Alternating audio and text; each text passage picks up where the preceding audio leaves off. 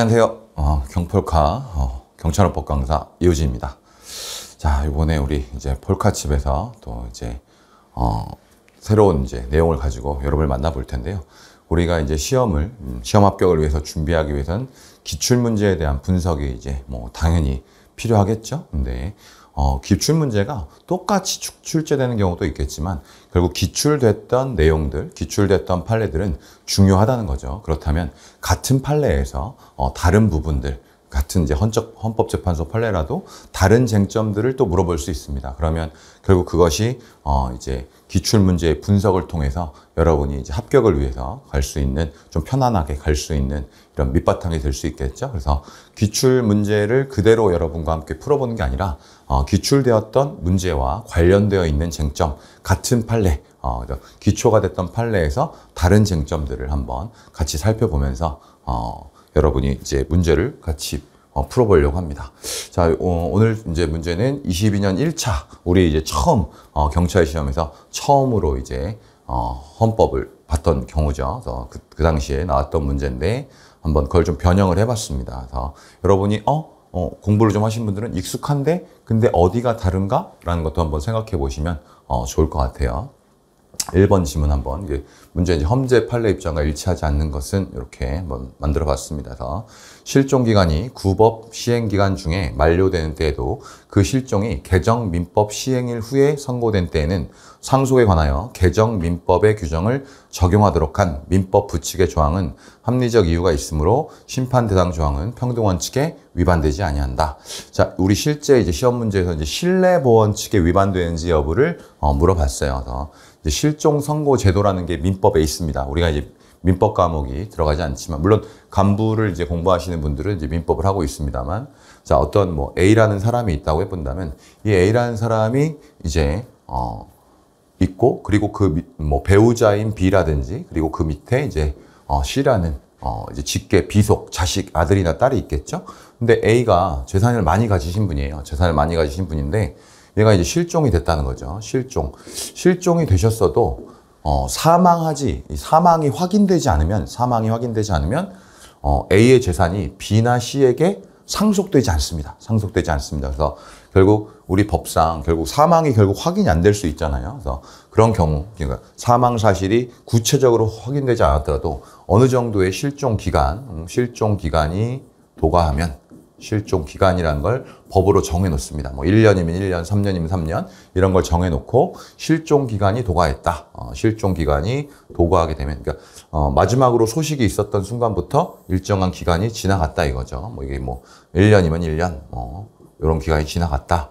그러면 이제 B와 C의 입장에서 뭘 할 수 있느냐? 법원에다가 법원에다가 실종 선고를 신청할 수 있어요. 실종 선고라는 것을 어, 결정을 내려달라. 이렇게 신청할 수 있습니다. 그럼 법원 입장에서는 실종 선고를 내려주겠죠. 실종 선고. 그럼 실종 선고 결정을 내려준다. 실종 선고가 어 이제 법원이 결정을 내려줬다면 요렇게 어떻게 되냐?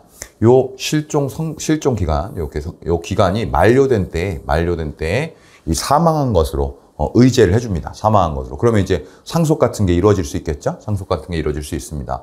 그런데 이 지문에서 말하는 건 뭐냐? 어, 지문에서 말하는 건 실정 선고 기간이 이제 다 지나갔어요. 다 지나갔는데 문제는 이 사이에 이 사이에 어 이제 법이 개정되었다는 거죠. 민법의 개정, 민법 특히 이제 상속법 뭐 이런 민법이 개정되면서 어 실종 선고는 실제 법원에서 실종 선고는 이때 내려집니다. 실종 선고.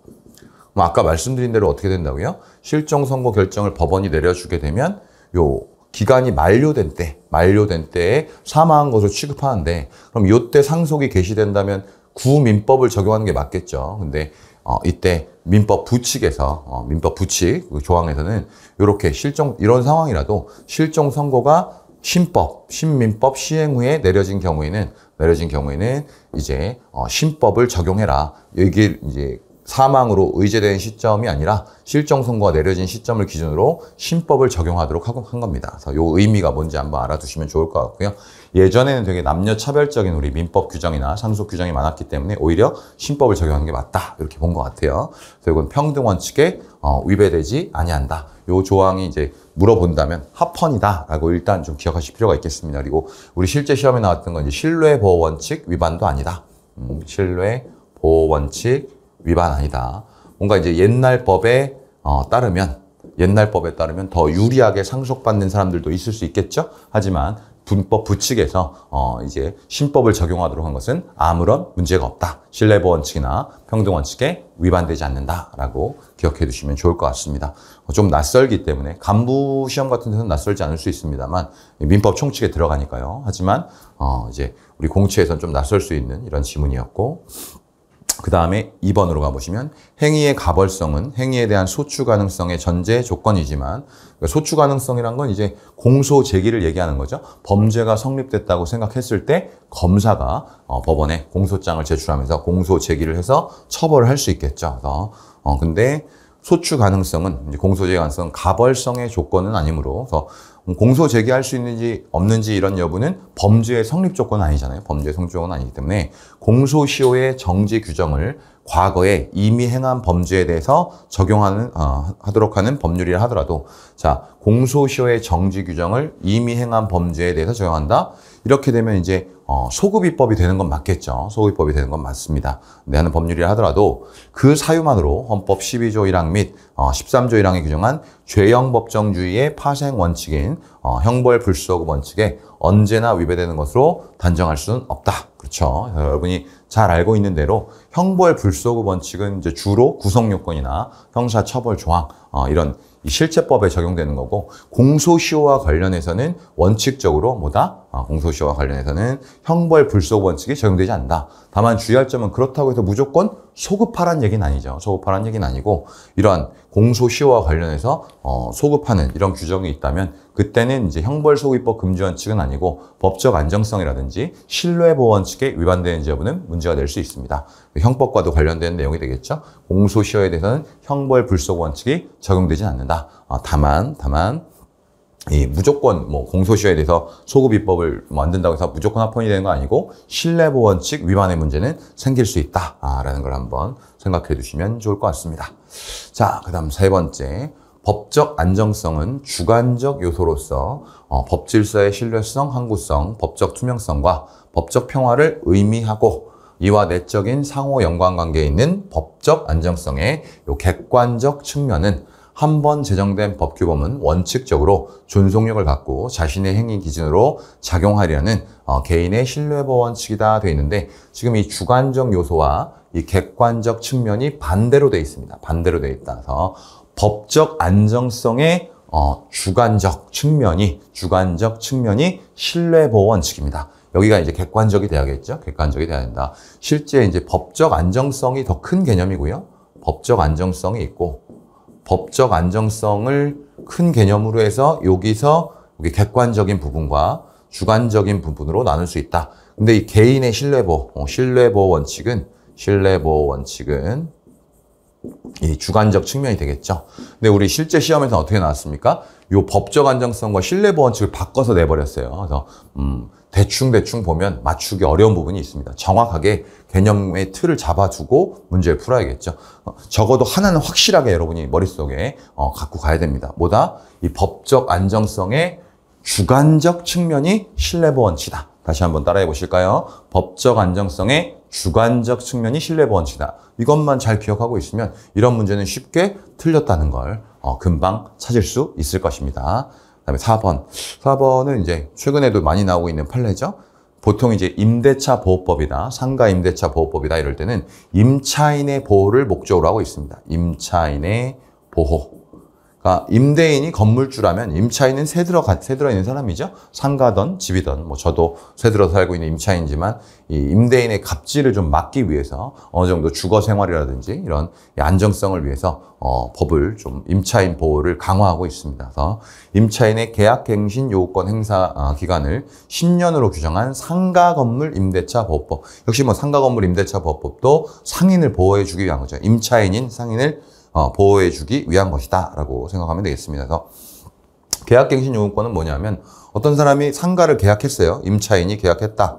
어, 근데 임대인이 갑자기 나가라고 한다. 그럼 안 되겠죠. 그래서 어, 10년 동안은 계속 계약의 연장을 요구할 수 있도록 하는 거죠. 계약 갱신이라는 게 연장을 요구하는 거죠. 그래서 그 임차인을 보호하는 건데 근데 원래는 5년이었는데 10년으로 어, 좀 더 범위를 넓힌 거죠. 상가 같은 경우에는 인테리어를 한다든지 뭐 여러 가지 준비를 하다 보면 돈이 이 소위 말하는 투자 자본이 많이 들어갑니다. 근데 한 1, 2년 있다가 이제 가게 문 닫고 나가라 그러면 인테리어 한 거 본전도 못 뽑을 수 있겠죠. 그러다 보니까 이제 5년에서 또 10년으로 늘려주게 됩니다.